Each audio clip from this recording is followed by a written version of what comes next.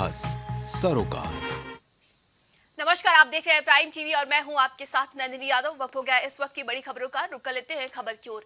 UP विधानमंडल का शीतकालीन सत्र मंगलवार को सुबह 11 बजे से शुरू हो जाएगा। ये 2023 का तीसरा विधानमंडल सत्र होगा। वहीं सत्र के पहले दिन समाजवादी पार्टी कार्यालय का उद्घाटन होगा। उद्घाटन विधानसभा अध्यक्ष सतीश महाना और अखिलेश यादव की मौजूदगी में किया जाएगा। बता दें कि मानसून सत्र के पहले दिन भाजपा नेता और पूर्व मंत्री व लखनऊ पूर्व विधानसभा क्षेत्र के विधायक आशुतोष टंडन और अन्य सदस्यों के निधन पर शोक व्यक्त करने के बाद सदन स्थगित कर दी जाएगी। बता दें कि इस सत्र के बजट में योगी सरकार वित्तीय वर्ष 2023 और 24 के लिए अनुपूरक बजट प्रस्तुत करेगी। सत्र में कई अध्यादेशों के प्रतिष्ठानीय विधेयक समेत कई अन्य विधेयक प्रस्तुत किए जा सकते हैं। सत्र में विपक्ष, जातिगत जनगणना, कानून व्यवस्था, आवारा पशुओं और किसानों की समस्या, बेरोजगारी और महँगाई जैसे कई मुद्दों को लेकर हंगामा कर सकता है। शीतकालीन सत्र में एक दिसंबर को नेता प्रतिपक्ष अखिलेश यादव और उसके बाद मुख्यमंत्री योगी आदित्यनाथ का भाषण होगा।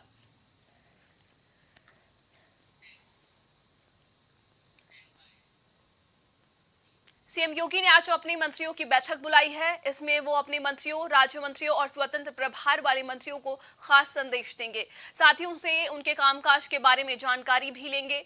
इसके अलावा सीएम योगी उन्हें आगे की कार्य योजना के बारे में बताएँगे। बता दें कि लोकसभा चुनाव के मद्देनजर मंत्रियों और सरकार की योजनाओं के प्रभारी अमल के विशेष काम में लगाया जा सकता है।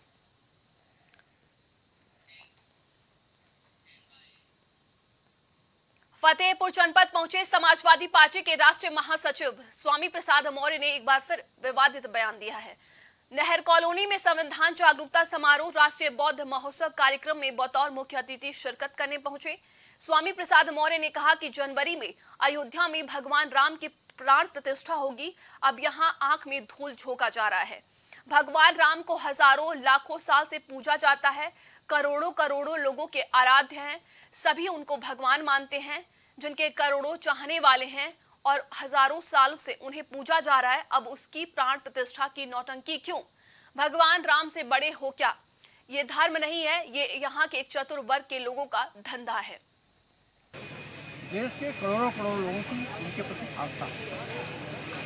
करोड़ों उनको चाहने वाले लोग हैं, उनका पूजा पाठ करते हैं। और आज से नहीं, हज़ारों लाखों साल से पूजे जा रहे हैं। जो हज़ारों और लाखों साल से पूजा जा रहा है जो सबको जीवन देता है उसको प्राण प्रतिष्ठा करने के लिए ड्रामा की आवश्यकता है? सच भाई प्राण प्रतिष्ठा का मतलब होता है कि ये जो प्राण प्रतिष्ठा करने जा रहे हैं ये अपने को भगवान राम से बड़ा स्थापित करना चाहते हैं बड़ा मानते हैं। इसीलिए वो प्राण प्रतिष्ठा का ड्रामा कर रहे हैं। अन्यथा लाखों साल से जो पूजनीय है करोड़ों का आराध्य है और नित्य प्रति लोग उसकी पूजा कर रहे हैं, उसमें प्राण प्रतिष्ठा करने की क्या आवश्यकता है?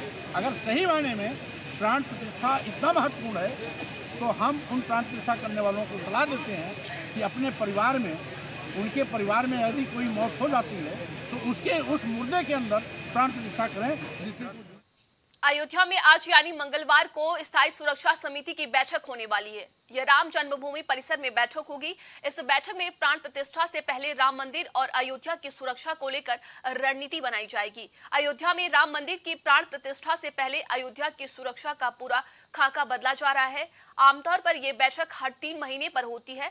स्थायी समिति बैठक की अध्यक्षता एडीजी सुरक्षा करेंगे और इसमें एडीजी जोन समेत पुलिस के कई सीनियर अधिकारी भी मौजूद होंगे।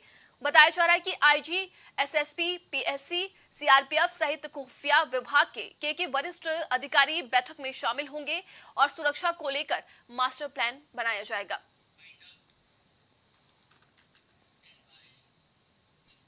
इन खबरों में अभी के लिए बस इतना ही। देश और दुनिया की तमाम खबरों के लिए आप देखते रहिए प्राइम टीवी